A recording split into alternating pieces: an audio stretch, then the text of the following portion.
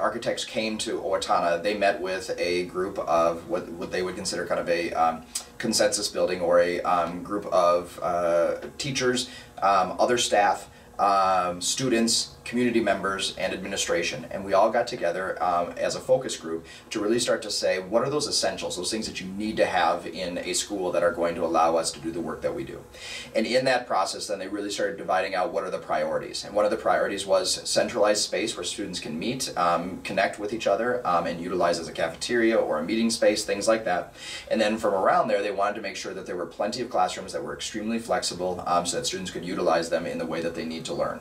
And so that was kind of the theme that um, started to emerge around that. And then it was also um, added into um, down by the athletic wing as well. So we'll have a ton of new technology that, um, first of all, will be communicative. So um, there will be a lot of communication screens um, across the entire uh, school. So in that way, student announcements, opportunities for students to connect with colleges and things like that that they'll use as, as, a communication tool. Yeah, so we have a lot of teachers right now working on ways that they can innovate their classrooms. So do they want to do some co-teaching?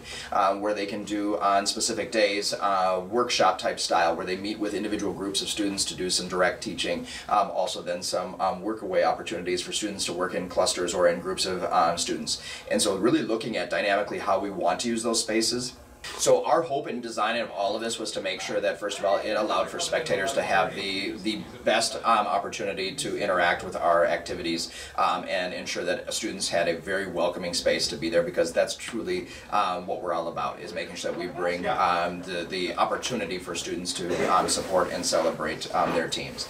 Not only in the football stadium but also then in uh, the gymnasium to have that opportunity for, uh, for students to be able to observe and have a, a space that's theirs.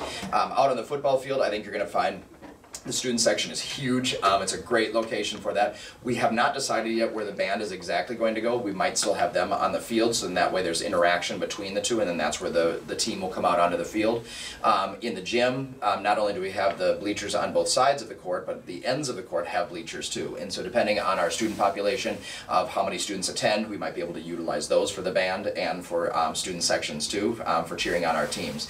So I think the design is very much so that um, students that are going to be there to cheer on our teams are fully interactive and um, going to be engaged and right on the court uh, because that's where you should be, um, cheering as loud as you can for the Huskies.